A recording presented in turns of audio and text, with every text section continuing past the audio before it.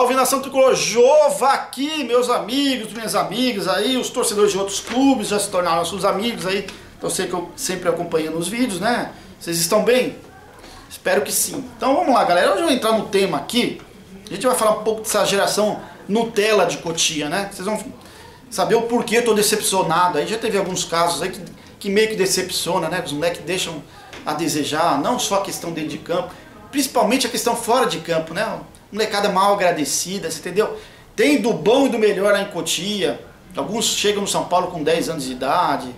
Tem tudo de bom lá, pô. Tem uma estrutura do cacete. Alguns estudam lá dentro, né? Uma mordomia do caralho. Come, dorme, come do, bem, do bom, do melhor lá. Aí quando já tem idade para subir pro profissional, né? Para demonstrar o agradecimento que tiveram aí pro São Paulo ter formado eles, né? Não só como atleta, mas como cidadão, o que, que eles fazem? Eles meio que sentam o pé no rabo do São Paulo, né? Para sair para fora. Por que eu tô falando isso, pessoal? Vamos falar, citar o, caso aqui do Gabriel Novaes, né? Vocês se lembram, quem acompanha o canal, que eu tava eu tava eu questionei muito a diretoria o porquê o São Paulo emprestou ele pro Barcelona B, né? Para mim, se ele tivesse no elenco aí, o Cuca já teria dado a oportunidade para ele de titular no time, né? Se tivesse feito alguns gols, com certeza seria titular de São Paulo hoje, né? Mas ontem, numa entrevista coletiva que o Alexandre Pássaro deu, né? E o Raí, eles deram essa entrevista em conjunto, a gente ficou sabendo o porquê do Gabriel Novaes ter sido emprestado, né? Aliás, o, o Pássaro e o, e o Raí dando entrevista aí, pô, você vê eles dando entrevista, cara fala, caramba, São Paulo tem uma gestão do caramba, hein? São Paulo tem umas das melhores gestões de futebol do Brasil aqui.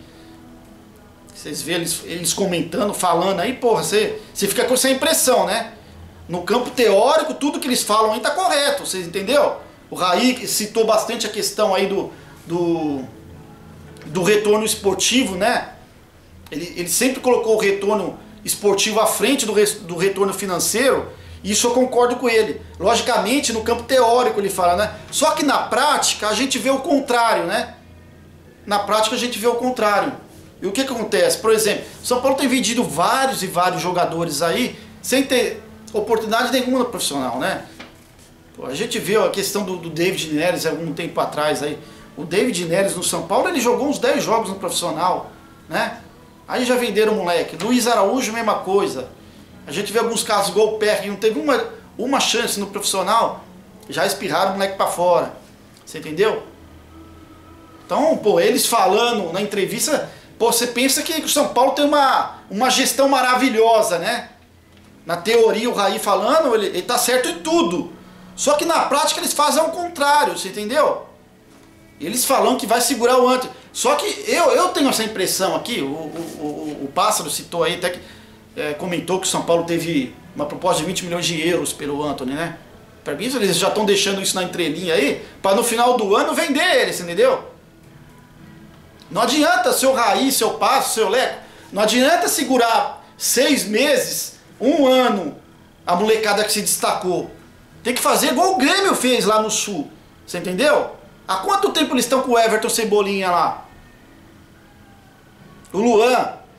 Eles estão segurando há 3, 4 anos.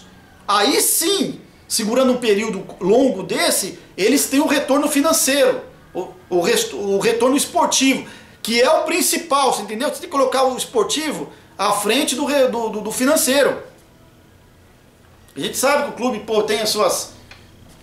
tem sua folha de pagamento, tem seus compromissos financeiros. Mas, meu amigo, se o time tiver esportivamente bem dentro de campo, vocês vão ter retorno financeiro de qualquer jeito. Vendendo ou não vendendo o jogador, entendeu?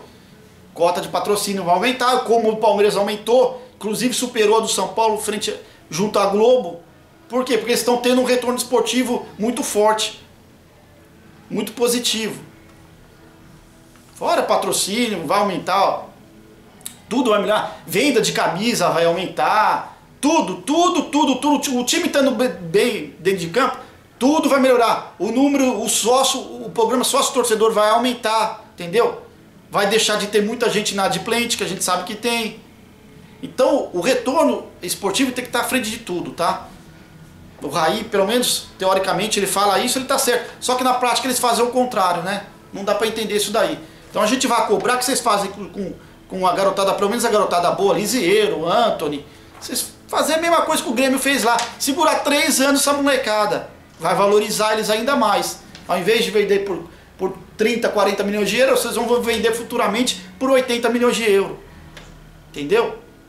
E segurar dois, três anos, pode, logicamente, fazendo um planejamento legal no início do ano, da temporada, vai ter o retorno esportivo também, que é título. São Paulo precisa disso, retorno esportivo, título. Tá? Vamos voltar aqui para a questão aqui dessa molecada, essa geração Nutella do cacete aí, né? Gabriel Novaes. Então, Gabriel Novaes aí colocou o São Paulo numa encruzilhada aí, né?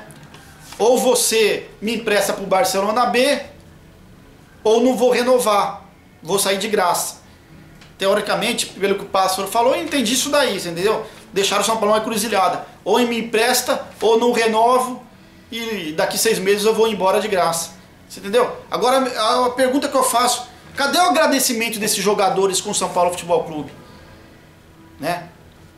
Porra, fica comendo, dormindo do bom e do melhor durante a infância inteira, a adolescência inteira dele. Aí quando pode chegar o profissional, retribuir o clube, o que, que eles fazem? Fazem um negócio desse com o São Paulo. Isso pra mim é falta de agradecimento. Falta de vergonha na cara, né? Jogador que não tá nem aí pro clube formador. São Paulo que formou ele. Tanto como cidadão, né? Porque o São Paulo faz esse trabalho, o São Paulo faz muito bem, que a gente sabe. Formar não só o atleta, como o cidadão. Você entendeu? Aí na hora do jogador retribuir, o jogador faz isso aí. Mal agradecido do cacete, né? Que o Gabriel Novaes fez com o São Paulo aí. Pelo menos pelo que o Pássaro falou na entrevista, deu a entender isso. Ele colocou que o São Paulo uma encruzilhada, ou me empresta ou não renovo. Isso é falta de agradecimento. Da mesma forma que eu falo do Anthony aí, tá? Meses atrás aí. Ele sabia que o São Paulo estava num momento decisivo na Copa do Brasil, tá? E forçou a saída dele para jogar aquela merda, aquele lixo daquele torneio caça-níquel lá em Toulon, com a seleção sub-23. Não foi nem seleção profissional, foi a seleção sub-23. Isso para mim é jogador mal agradecido com o clube, por tudo que o clube fez para ele. Depois vem pagar de São Paulino, ah, pelo amor de Deus, né? Faça-me o favor, né? Geração Nutella do cacete, que cresce já querendo jogar. Eles não crescem querendo fazer uma história aqui, né? Fazer uma história no São Paulo, fazer uma história no Corinthians, no Palmeiras, no Santos. Essa molecada de hoje em dia aí, eles já querem se tornar profissional, já jogar lá fora já. Não respeitam as camisas dos clubes aqui. Isso é a questão. O que, que faz eles pensar assim? Pra mim é, uma, é único exclusivamente isso daqui, ó, dinheiro. Você entendeu? Logicamente o nosso mercado interno aqui não vai concorrer financeiramente com, com os clubes europeus. Mesmo no caso do Palmeiras, hoje que tem uma, uma parceria forte por trás, não consegue concorrer com os clubes do exterior, financeiramente, né? Então essa garotada só pensa nisso hoje, você entendeu? Eles não querem ser idolatrado, como alguns jogadores, por exemplo, o Raí aí, idolatrado pela torcida de São Paulo até hoje, pelos feitos dele, Neto no Corinthians, Evair no Palmeiras, né? É, foi uma geração, uma geração completamente diferente dessa nova aí. Jogadores que fizeram a história no futebol, aqui dentro do, do, do, do, futebol nacional, né? Hoje são respeitados pelos, pelas maiores torcidas do Brasil aí. Caso do Zico no Flamengo, respeitadíssimo. Hoje essa molecada do cacete aí, alguns nem torcem os clubes nacionais aqui, né? Eles querem torcer para Barcelona, Real Madrid, o caralho é quatro. E os jogadores. Os jogadores já querem sair. Você entendeu? Eles já não querem nem jogar um, dois jogos no profissional aqui. Já querem ir direto com o Barcelona da vida real. Chelsea, Liverpool. Nada com, contra quem, quem torce aí pra. Acho que não, não vem nem o caso, né? Se quiser torcer pro Barcelona Real Madrid, problema é seu. Você torce para que você quiser. Agora, jogador, jogador que passou a infância inteira e adolescência inteira sendo formado pelo clube, porra, dar um pontapé no clube na hora que ele pode retribuir isso, querer jogar lá fora por conta só disso, não querer retribuir ao clube, porra, faça-me favor, né? Geração Nutella do cacete, mano. Não respeita a torcida, não respeita a instituição. E eu que sou defensor das categorias de base aí do São Paulo, quem me conhece aqui nos vídeos sabe. Eu pedi a Anthony aí, na época do Jardim eu já pedi o Anthony no, no time profissional, pedi o, o Novaes, você entendeu? O Sara, eu sempre comentava do Sara mesmo, agora ele subiu, né, jogou com o Cuca aí também. Porra, mas essa molecada decepciona também, cacete. Olha o Novaes aí, eu não sabia dessa história aí. Né? Por isso que eu tô comentando aqui. Que ele meio que forçou o empréstimo dele, senão ele não ia renovar com o São Paulo. Isso daí pra mim é jogador que não respeita o clube. Foi formado pelo clube, teve do bom, do melhor, comeu do bem, do bom, do melhor. Pô, aí chega o momento desse rabo trincado retribuir o clube, né? Subir profissional, fazer uns gols. O que, que ele faz? Força a saída. Para jogar no Barcelona B, né? Não estamos falando do Barcelona, estamos falando do Barcelona B. Somente as trancas, até o Douglas. Você se lembra, torcida? O Douglas, lateral direito, Doug Funny. E ele foi pro Barcelona B. Você vê o nível dos jogadores que jogam no Barcelona B, né? Tudo jogador de segundo, terceiro escalão. Até o Doug, o Doug, jogou no Barcelona B. Então, meu amigo, sabe o que eu sugiro para a diretoria de São Paulo? Acaba com aquela porra daquela mordomia que essa molecada tem cotia. Senão já vão. Eles vão crescer, vão subir profissional, já com o rabo. É, com, com frescura, você entendeu? Já, já só profissional, cheio de frescura, querendo regalia, querendo transferir para clube europeu, A ou B. Então, para mim, garotada tem que ser formada igual era antigamente, em terrão, na terra. Você entendeu? Sem mordomia nenhuma. Pra quando subir, dá valor ao clube que formou ele. Hoje essa molecada do São Paulo não faz isso. Não dá valor nenhum pro clube. Tem puta de mordomia, ônibus leva até a porta de casa, até o CT, leva e traz. É, console de videogame de última geração nos quartos, come do bom do melhor, treina em tapete, né? que você tem de, de Cotia, ela tem uns 10 campos e tudo tapete. Aí na hora de retribuir para o clube, o que eles fazem? Força a saída. Para mim, jogador tem que ser formado no terrão. Na terra mesmo. É campo raspadão, na terra. Igual era antigamente, entendeu? Para quando ele subir profissional, ele dá valor ao clube. Dá valor ao clube e instituição. Já não chegar com com, com frescurinha no profissional. Hoje a molecada já, cresce, já chega tudo com frescurinha. Alguns já querem entrar de titular, forçando né, a entrada. Você se lembra do Brenner? Que fez o gol lá. Tá certo que o Nenê puxou ele, né? Aliás, o Nenê foi pro Fluminense, graças a Deus, né? Pra mim, a única coisa que a diretoria de São Paulo precisa fazer, vir a público, é mostrar os números dessa negociação, né? Dizem aí os boatos que o São Paulo vai pagar 50% do salário dele para jogar no Fluminense. Isso daí eu já acho errado. Você entendeu? Por isso tem que vir a público, pô, deixar bem explicadinho isso daí, né?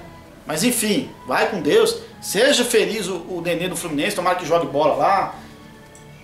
Esse cara só, deu desgosto aqui, tá? Só desgosto.